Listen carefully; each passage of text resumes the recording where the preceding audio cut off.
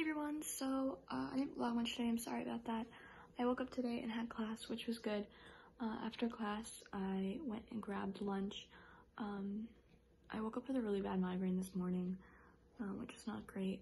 Uh, I got a migraine yesterday randomly, and I just still have it today. Uh, I took medicine when I woke up, but it didn't really do anything. Uh, anyway, in between class, I went and got a burger for lunch. I'll insert a picture of my lunch right now.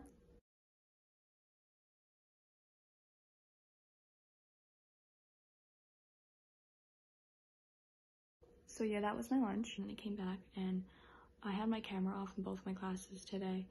Um, and I was like, okay, well, I have my next class now and it's an hour long. So like, I'll try and eat it during that class while I have my camera off. Um, and I, I did that, um, but I only could eat like half of it because I just really wasn't feeling well. Um, because my head was really bothering me. Um, so that was unfortunate. and then I after my other class, I was on the phone and FaceTimed some people for a little bit, and then I went and took a nap because I needed it because my head hurt so much. Uh, I slept for like a while, not great, still kept waking up, but I did sleep for a little bit. Um, I woke up still not feeling so great, but I had work I needed to do, so I did that.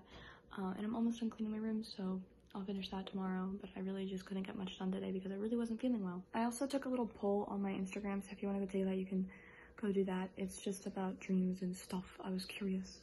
Um, so you can go take that to my Instagram stories. Yeah. Um, but that's pretty much it. I'm gonna go to bed now. Um, I hope you all had a good day because I had not such a great day and I'll see you tomorrow. Bye. Good afternoon, Isabel.